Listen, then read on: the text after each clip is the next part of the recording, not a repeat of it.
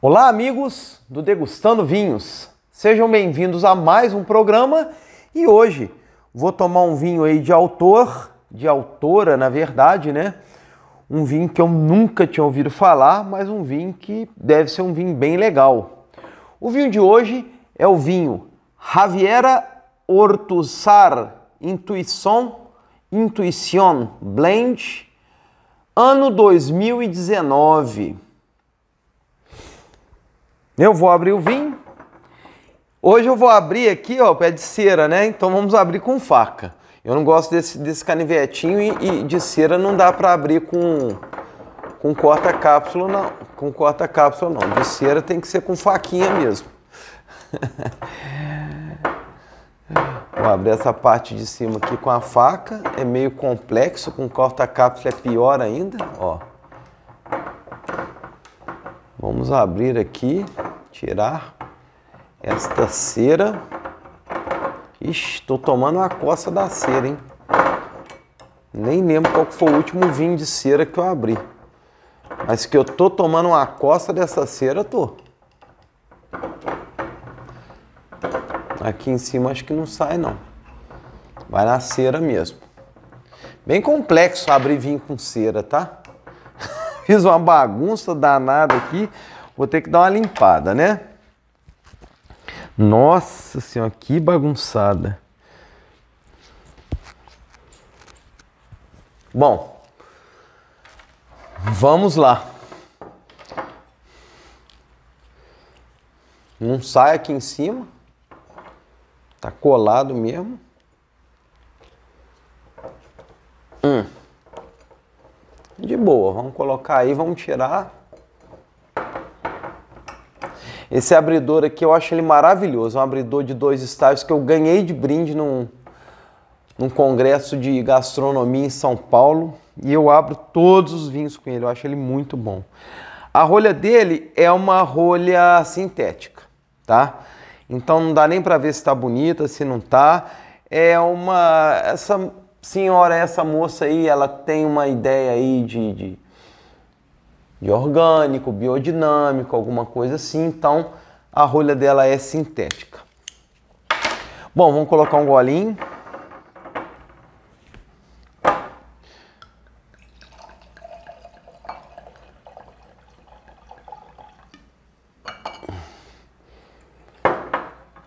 Bom, vamos falar um pouco sobre a Javiera Ortuzar.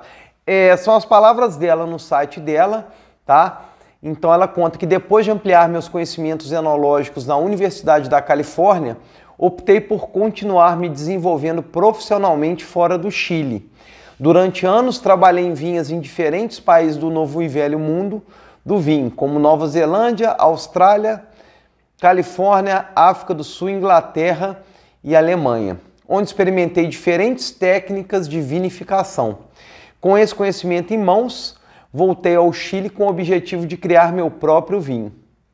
Qual o objetivo dela? Desenvolver os vinhos, seus próprios vinhos, todos com estilo jovial, fresco, uma acidez média, muito fáceis de beber e desfrutar. É, é uma enóloga jovem, tem um trabalho bem legal, reconhecido até no Guia Descorchados, mas é uma vinícola pequena, uma vinícola de autor, então não tem tanta. Fala no site dela que tem venda para o Brasil, mas eu não achei. Bom, vamos falar de dois vinhos aí que ela fabrica, porque o site dela parece que ela muda de vinho, cada ano lança um, cada safra muda o nome, alguma coisa assim. Então, o atual que tem lá, que tem ficha técnica, é o El Elegido tem três versões: Cabernet Sauvignon, um blend com 45% de Syrah, 40% de Cabernet Sauvignon e 15% de Petit Verdot, e uma versão só de Petit Verdot. Não tem informações de guarda na ficha técnica. O nosso vinho aqui, o Intuition, tem três versões: o Syrah, o blend que é esse com 60% de Syrah, 20% de Cabernet Sauvignon e 20% de Petit Verdot e a versão Petit Verdot. Eu achei essa informação no Insta, no Insta dela, tá? Que nesse blend aqui tem uma guarda de 16 meses em barris de carvalho francês. Não tem a ficha técnica desse vinho no site dela. O álcool desse vinho é de 13,8%. Notas de prova, infelizmente, não tem a ficha técnica, ela não deixou nota de prova no, no lá no, no Instagram, então é, eu vou dar as minhas notas de prova, tá?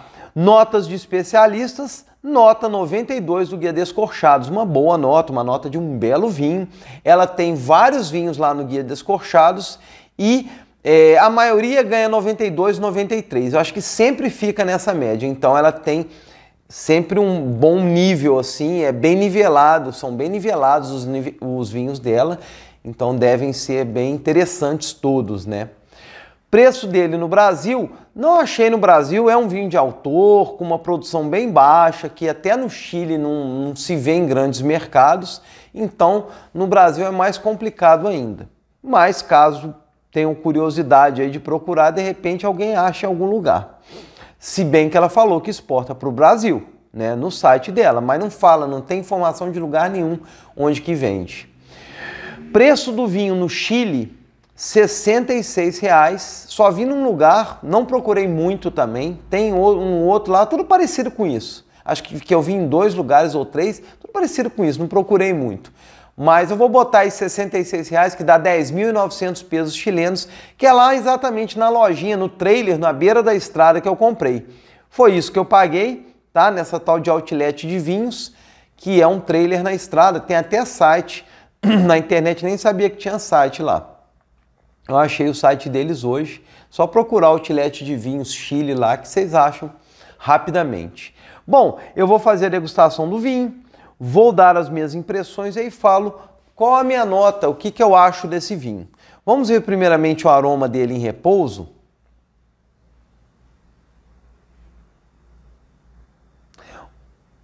Um aroma um pouco tímido, mas bom.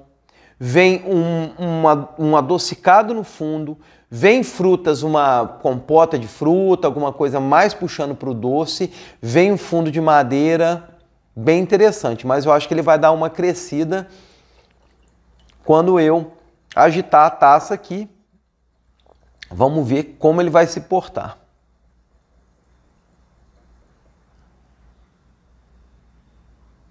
Subiu um belo aroma puxando para esse adocicado, puxando para alguma coisa de vinho do Porto, eu gosto disso. Frutas é, escuras, ameixa, framboesa, amora, mas pensando mais em compota de frutas e em coisas mais em doces, frutas bem maduras mesmo e alguma compota de fruta. Aparece uma menta, um hortelã, um pimentão, bons aromas, já estão mexendo, já está começando a mudar um pouquinho. O vinho estava presinho, mas já está se mostrando interessante. Um bom aroma, gostei do vinho. Vamos colocar na boca?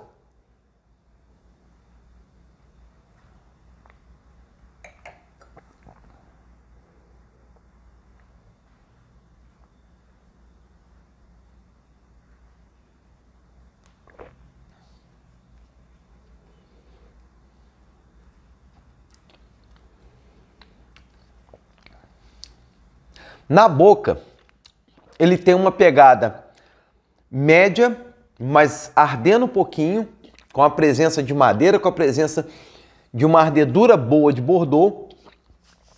É, tem uma acidez ótima, tem é, taninos médios, tá? Que aparecem, falam que estão ali, mas não ficam muito fortes.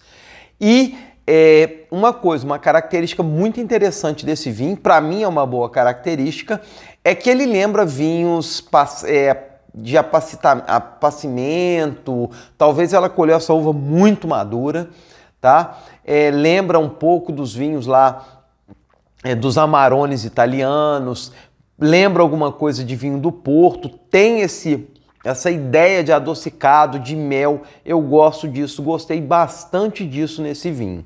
Vamos provar de novo? Eu prefiro muito mais um vinho que tenha essa tonalidade do que aquele frutadão de rosa esmagada. Sou muito mais desse estilo.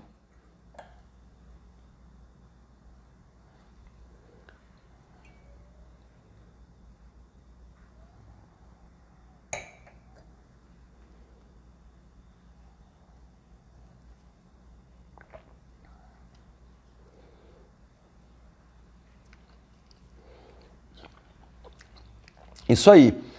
Uma bela é, persistência, 7 segundos mais ou menos. Esses doces, essa presença de lembranças de compota de fruta, não é um vinho doce, mas lembra compota de fruta, lembra um apacimento, lembra um vinho lá do Vêneto, né? Daquela re re região lá que tem os Valpolicella da vida, os Amarones, é bem interessante isso. Interessante que é um vinho, mais ou menos um vinho do Vêneto na Itália, na, em pleno Chile, né? Quem gosta desse estilo de vinho, se tiver oportunidade aí, pode tentar buscar algum outro vinho dela.